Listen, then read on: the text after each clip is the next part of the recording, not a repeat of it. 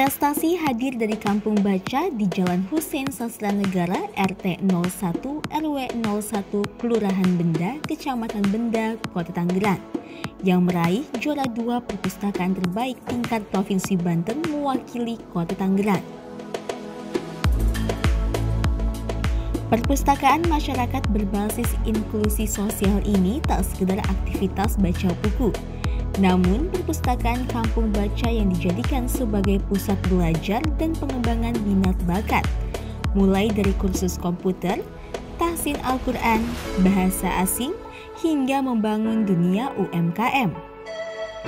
Ya, jadi Kampung Baca ini berawalnya kita memang bentuk sebagai uh, perpustakaan dan pusat uh, belajar di masyarakat. Kemudian tahun 2018 dan 2019 digagas menjadi kampung uh, salah satu kampung tematik di kota Tangerang.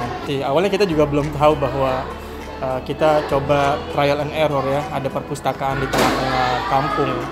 Namun pada perkembangannya bahwa perpustakaan menjadi uh, wadah untuk pengembangan uh, ekonomi masyarakat, pengembangan uh, apa namanya pemberdayaan masyarakat dengan kita kenal dengan inklusi sosial, ini uh, akhirnya terintegrasi.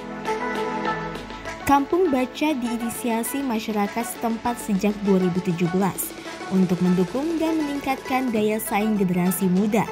Masyarakat setempat meyakini perpustakaan adalah wadah kecil untuk menciptakan sebuah gebrakan dan cita-cita besar di masa depan. Saya rasa perpustakaan zaman sekarang bukan lagi tempat untuk hanya membaca. Dia tempat pintu untuk membuka everything.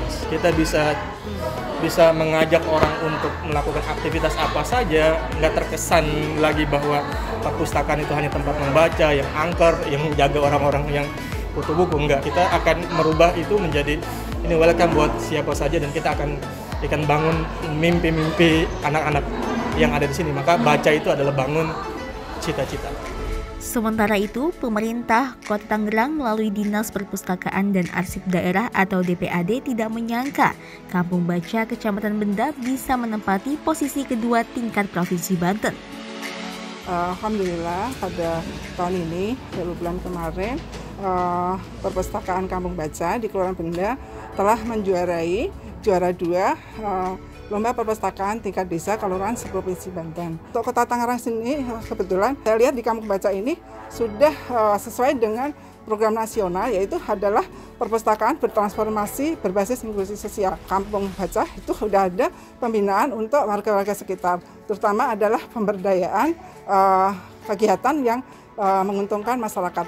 Jadi uh, perpustakaan sendiri tidak hanya berfungsi untuk mencerdaskan bangsa, tapi juga adalah mensejahterakan masyarakat.